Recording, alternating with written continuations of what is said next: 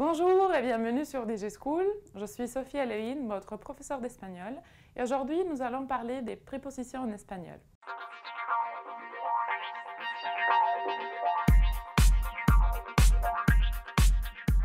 Nous allons commencer par la préposition ante. Ante exprime la situation, la préférence ou aussi le rapport. C'est une préposition que vous allez surtout employer à l'écrit, euh, à, cause de son registre un peu soutenu.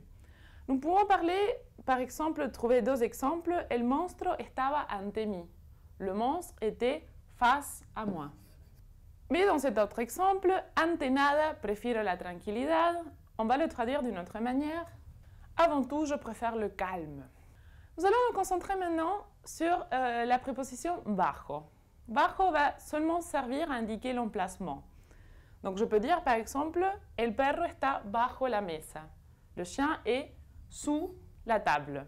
Parlons maintenant de la préposition con. Con va servir à exprimer le moyen, la compagnie ou le motif. Donc par exemple, ici on dit pinta con pinceles antiguos. Il peint avec des pinceaux anciens. Ou par exemple, euh, les fameux Juan et Maria. Juan está con Maria. Donc, pas de mystère. Juan est avec Maria. Donc, euh, voici pour euh, ce cours sur les prépositions en espagnol. J'espère que cette vidéo vous a été très utile. N'hésitez pas à consulter les autres vidéos sur ce sujet sur DigiSchool. Et à très bientôt. Au revoir.